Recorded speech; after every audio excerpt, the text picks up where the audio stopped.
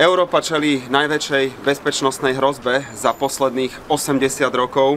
Vojenský útok na Ukrajinu je zo strany Ruska vedený nielen konvenčnými zbraňami, ale ako iste mnohí dobre viete, tak aj kybernetickými útokmi a vlnou dezinformácií. Sme presvedčení, že väčšina Slovákov vie, kde je sever a stojí na správnej strane brehu a dokáže odsúdiť to, čo Ruská federácia spáchala a pácha. Na druhej strane je očividné, že v tejto krajine operuje skupina ľudí, ktorí dlhodobo šíria ruskú propagandu a aj v čase vojny obhajujú kroky Vladimíra Putina.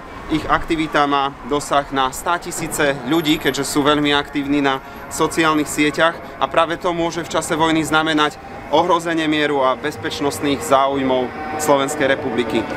Aj naše slovenské orgány si naozaj musia uvedomiť, že šírenie propagandy pomáha agresorovi zotrvať vo vojne a vraždiť nevinných ľudí. Práve preto podávame, pripravili sme trestné oznámenie a podávame trestné oznámenie na niektoré osoby, ktoré na sociálnych sieťach vystupujú pod menami Ľuboš Blaha, Štefan Harabin a Martin Jakubec keďže ich príspevky na sociálnych sieťach, ale aj verejné prejavy už podľa nášho názoru prekročili hranicu vyjadrenia vlastných nejakých postojov alebo názorov a naplňajú, myslíme si, že naplňajú skutkové podstaty trestných činov, cítime zákonnú aj morálnu povinnosť upozorniť na to orgány činné v trestnom konaní. E, postupne, aspoň v skratke, e, povieme, čo je obsahom trestného oznámenia. Osoba vystupujúca pod menom Ľuboš Blaha vo viacerých statusoch na sociálnej sieti Facebook e, obhajuje ruskú agresiu na Ukrajine, vyhlasuje prezidentku Slovenskej republiky za šíriteľku nenávisti voči ruskému národu, obvinuje vládu Slovenskej republiky zo zaťahovania Slovenska do vojny, či zastrašuje slovenské obyvateľstvo jadrovou vojnou. Mohol sa tak dopustiť trestný, e, trestných činov vlasti zrady, sabotáže či šírenia poplašnej správy. Len na ukážku citácia z facebookového profilu uh, Ľuboša Blahu. Nemci sem prinesú raketový systém Patriot, robia z nás jeden kolosálny vojenský terč, zaťahujú nás do vojny a ohrozujú slovenské rodiny. My sa naozaj domnievame, že v súčasnej situácii je zvyšovanie obrany schopnosti Slovenskej republiky jednou z najdôležitejších úloh ústavných činiteľov, štátnych orgánov, ako aj ozbrojených síl Slovenskej republiky. Ako plnohodnotný člen Severoatlantickej aliancie máme právo pri obrane celistvosti svojho územia využiť vojenské sily spojencov. Pri trestnom čine sabotáže sa hovorí o tom, že ak niekto v úmysle poškodiť ústavné zriadenie alebo obrany schopnosť Slovenskej republiky zneužíva svoje povolanie alebo funkciu na to, aby podkopával ústavné, ústavné zriadenie, pardon, a aby maril plnenie dôležitej úlohy štátneho orgánu alebo ozbrojených síl potrestá sa odňatím slobody na 4 až 10 rokov. My si myslíme, že pán Blaha mohol svojim konaním naplniť túto skutkovú podstatu. Obzvlášť perfidné je, že pán Blaha ešte pred pár dňami na sociálnych sieťach presviečal ľudí, že Rusko nikdy nezautočí na Ukrajinu a na protestoch posielal pozdravy do Moskvy so slovami nikdy proti Rusku. Každý normálny človek by sa po takom niečom hambil v kúte, ale pán Blaha nie. Naopak pridáva jeden status za druhým, ich znenie zároveň vzbudzuje obavy, že môže ísť kona- o konanie v spolupráci s cudzou mocou, keďže dané konanie je zjavne na prospech Ruska ako agresora, obhajuje a ospravedlňuje jeho skutky a zahmlieva realitu. Uh, veľmi skratke, podobným spôsobom vystupujú na sociálnych sieťach aj ďalšie a ďalší verejne známi ľudia. Osoba pod e, menom Štefan Harabin napísala priamo vyhlásenie, že by urobil presne to isté, čo Putin, prípadne, že je povinnosťou Rusov pacifikovať nacistov.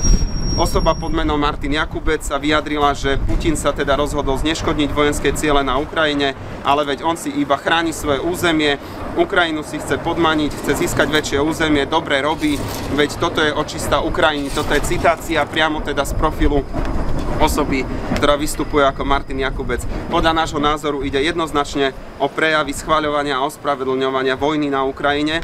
Tieto prejavy povzbudzujú a podnecujú k nenávisti a ohrozujú mier, o čom tiež hovorí samostatný paragraf 417, kto v úmysle narušiť mier akýmkoľvek spôsobom podnecuje k vojne, vojnu propaguje alebo inak podporuje vojnovú propagandu, potresta sa odnatím slobody na 1 až 10 rokov.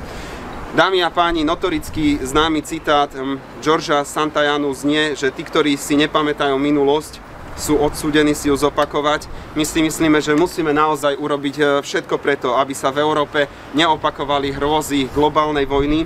Ak dnes, ak dnes niekto obhajuje povedzme Adolfa Hitlera, ktorý rozputal druhú svetovú vojnu, veľmi pravdepodobne skončí pred súdom a preto postaviť sa v súčasnej situácii na stranu agresora, kvôli ktorému zomierajú uh, zomiera množstvo ľudí, je nielen šialené, ale myslíme si, že to musí byť aj trestné.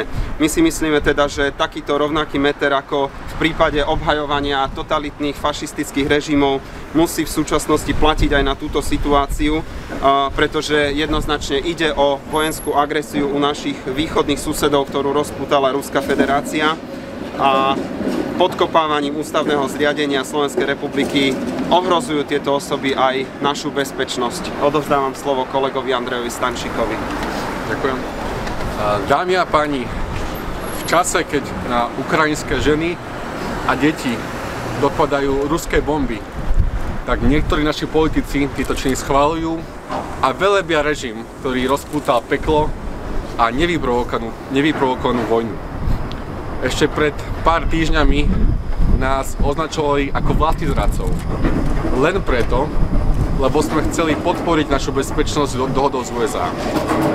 Hovorili o nás ako o štváčoch a amerických agentoch len preto, lebo sme hovorili, že hrozí konflikt na Ukrajine. Tieto najhoršie obavy sa potvrdili No títo ľudia, namiesto toho, aby sa ospravedlnili ľuďom, že ich klamali, že šírili nenávisť, že velebili režim, ktorý dnes vedie vojnu, znova otočili. Dnes hovorí o tom, že to nie je vojna na Ukrajine, ale je to vojna USA a Ruska. Spochybňujú útoky ruskej armády na civilné obyvateľstvo a glorifikujú tento krvavý Putinov režim. Myslím, že dnes už každý občan Slovenskej republiky, ktorý vie, kde je sever a vie, kto je agresor, vie, že takéto konanie je neospravedlniteľné. Viete, už Karl Popper hovoril o paradoxe tolerancie. Že demokrati majú tendenciu tolerovať tých, ktorí žiadnu toleranciu nemajú. A tí potom získavajú na sile a keď sa dostanú k moci, tak akúkoľvek slobodu a akúkoľvek toleranciu hneď zrušia. A preto sa demokracia musí brániť. Demokracia sa musí brániť voči šíreniu lží, voči dezinformáciám a voči nepriateľskej propagande. Tak ako nás označovali za vlasti zradcov, si dnes každý súdny človek na Slovensku môže pozrieť, kto hájil slovenské záujmy a kto naozaj hájil záujmy cudzej moci ktorá sídli na východe.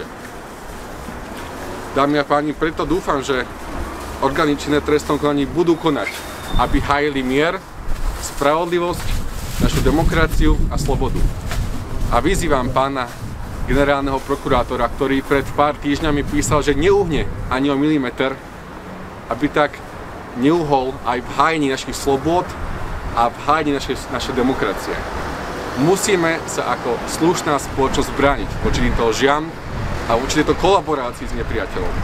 Ja verím, že pán generálny prokurátor bude konať.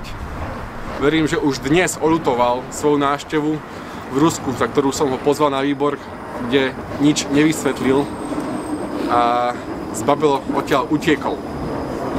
Ja verím, že teraz je čas, aby sa celá slušná slovenská spoločnosť a tretí sektor spojili a spoločne sme povedali, kto je nepriateľ, kto vedie agresívnu vojnu a kto sa bráni. Aby sme pomohli Ukrajine, ako sa bude dať. Takže naozaj verím, že toto trestné oznámenie bude mať svoje plody a verím, že pán generálny prokurátor bude konať. Ďakujem. Nech sa páči, máte nejaké otázky?